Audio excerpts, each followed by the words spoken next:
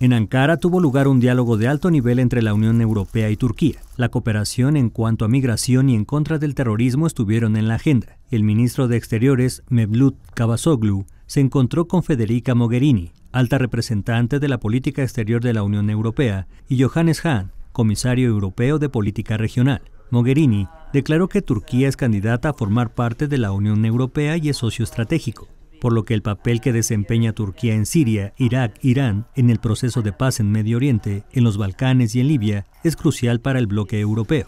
La diplomática italiana aseguró que la Unión Europea tiene un gran respeto por los esfuerzos sin precedentes que Turquía ha hecho para apoyar a los 4 millones de refugiados, de ellos 3.5 sirios, y señaló que van a seguir apoyándolos. Con información de Marcia Bizzotto, corresponsal en Bélgica, Notimex.